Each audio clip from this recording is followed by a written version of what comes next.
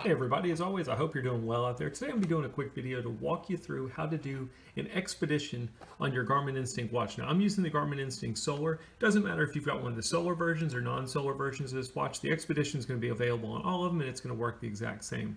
I'm also going to go through this fairly quick. It's very similar to doing any other activity, so I'm kind of assuming you know some of that already. If not, I've done some videos in the past that walk you through the basics of doing activities. So what exactly is an expedition and why would you want to do it? It's similar to, let's just say you're going on a hike. Most of the time, if you're going to do a hike or any kind of activity, a walk, swim, whatever, the activity is going to take maybe a couple hours, maybe a whole day, sometimes even two days, but your battery life, a full battery, should be able to account for that.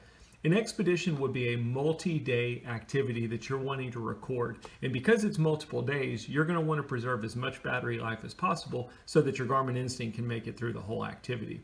When we do an expedition, the sensors and accessories on your watch are automatically going to be turned off. So things like uh, being able to connect to your smartphone, using your heart rate, any of that stuff you're not going to be able to use.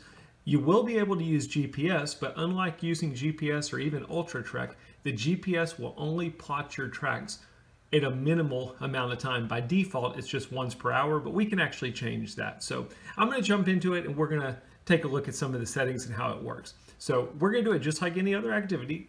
We're going to press the GPS button. It's the upper button if the watch is facing us. And what we're looking for in here is expedition. If you don't see it, you can use the up or down buttons to go through your favorite activities and apps. If you don't have it in there, just go to the bottom, click GPS to add it, and you're looking for the one called Expedition. It's got a mountain with a flag on it. The first time you add it, you should get a message letting you know that when you're in an expedition, all of your sensors and accessories will be turned off. Once you've done that once though, and you've bypassed that message, you won't see it again. That's why I'm not seeing it when I go in. It is similar to other activities. The one thing that's different is you've got some data fields on here and you cannot edit the data fields on an expedition. It's kind of similar to the hunt and fish activity. Most other activities, you can go adjust your data fields, but on the expedition app, you can't. You'll notice that my GPS is connecting. And then over here, I've got a button that says options press up. So let's press up. We'll take a look at our expedition settings. We'll press GPS to go into those settings. By default, it's going to record your GPS track points once per hour. You can press GPS and you can change that. You can do 75 minutes, 90 minutes, again 60 minutes, 45, 30, or 15 minutes. My advice would be set this based on how long you think your expedition is going to be as well as what your battery life is like. If you're doing an expedition that's going to take a week or so, you want it recording as few GPS track points as possible. If it's only going to be a couple of days, 60 minutes, even less, will probably get you by. No matter what you choose here, this is just dealing with the watch connecting to the GPS and recording a track point. You can always manually go record a track point during your expedition. I'll show you that. So I'm just going to leave it on 60 minutes. The other option you've got is do you want to record track points after sunset? If you have this off, it's kind of designed for, let's say we're doing a hike through the mountains and at nighttime, all we're going to be doing is setting up camp and sleeping. We wouldn't want to record any kind of track points during nighttime because all we're doing is using battery life to connect to the GPS and we're recording the same point that we're sitting at over and over. So you can turn this feature off. Now, if you happen to be hiking during the nighttime, you would want to turn this on so that your GPS is recording those uh, points at nighttime It's just a simple toggle on or off. You can change the background color just like on any other act, uh, app or activity. You can rename it and then if you mess up and you just want to restore it back to the default, you can restore it back to default. Those are your only options under the Expedition app. I'm going to press back. If we're ready to start our expedition, all we're going to do is press GPS to start it. You'll notice it's connecting to the GPS. It says locating satellites. I'm on day one of my expedition and it just recorded my first point, which is my starting point. Now what happens though is the GPS is going to disconnect and it won't connect again until 60 minutes later when it needs to record my next track point.